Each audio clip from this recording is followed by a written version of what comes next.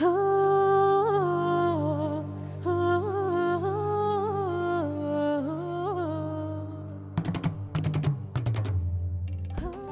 eine Span äh, Fremdsprache. Also, wir haben, meine Schwester gelernt auch und wir haben es von Fernseher gelernt.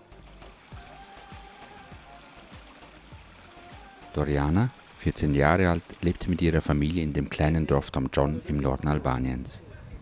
In dieser kargen Gegend ist die Situation für die Menschen sehr schwierig, denn Arbeit gibt es selten.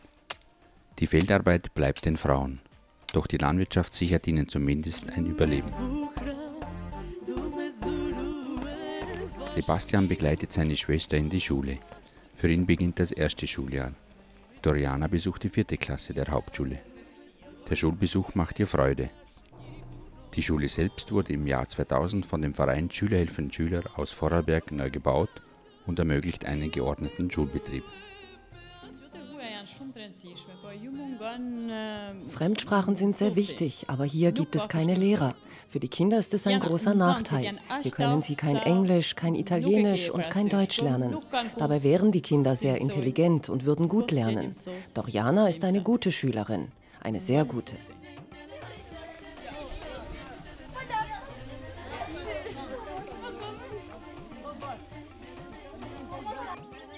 Nach der Schule ist es die Aufgabe von Doriana und ihrer Schwester Mariana, die noch Ferien hat, die Tiere im Stall zu versorgen. Für die Mädchen ist dies eine Selbstverständlichkeit. Die Hühner wollen ihr Futter und die Schafe müssen auf die Weide getrieben werden. Sie liefern den Menschen das Fleisch und die Wolle für die kalte Jahreszeit.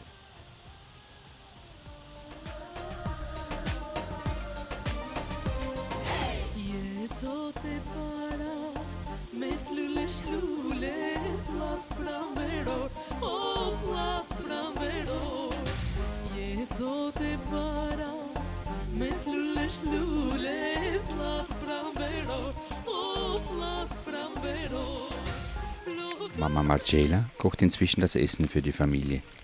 Von einem Küchenkomfort, wie er bei uns üblich ist, können die Frauen nur träumen.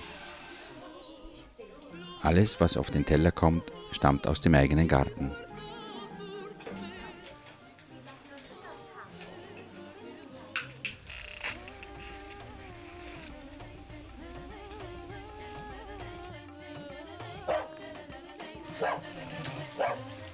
Sebastian, der Nachzügler, wird noch vor Doriana mit einem gebratenen Maiskolben verwöhnt.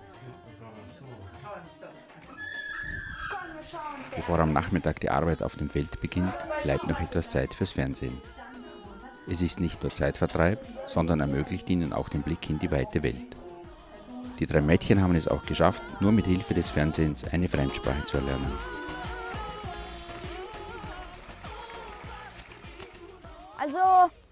So wie wir es gelernt haben, war es ohne Untertitel.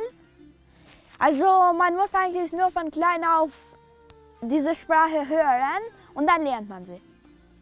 Unsere, unsere Schulkameraden glaubten uns am Anfang nicht. Aber viele Male kamen Leute aus Österreich, die die Schule gebaut haben und schauten sich die Schule an. Also wir, am Anfang haben wir uns nicht getraut, ihnen zu sprechen. Wir waren schüchtern. Aber dann, als wir zum ersten Mal mit ihnen geredet haben, dann waren alle zum ersten Mal erstaunt. Und dann haben sie uns gefragt, wie wir es gelernt haben und haben sich eigentlich sehr gefreut.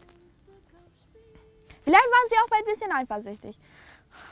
Haupterwerb für die Familie Kuni ist die Landwirtschaft. Papa Leki, 53 Jahre alt, arbeitet noch gelegentlich als Chauffeur. Meine Mädchen sollen selber entscheiden, was sie lernen und auch, wen sie heiraten möchten. Aber die Bildung, die ist ein sehr wichtiger Punkt. Und ich bin stolz, dass sie schon eine Fremdsprache können.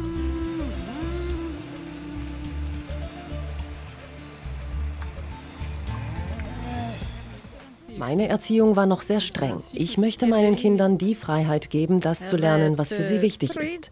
Sie sollen etwas erreichen können und selbstständig sein.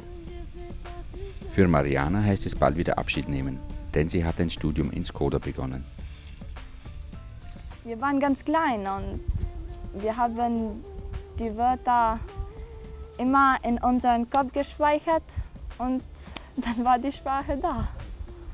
Für mich ist es sehr wichtig, weil mit Deutsch kann ich etwas anfangen, auch mit anderen Sprachen. Aber in meinem Fall kenne ich jetzt die deutsche Sprache und ich kann damit Arbeit finden. Vielleicht, wenn ich mein Studium hinter mir habe, kann ich Lehrerin werden, Dolmetscherin, werden wir sehen.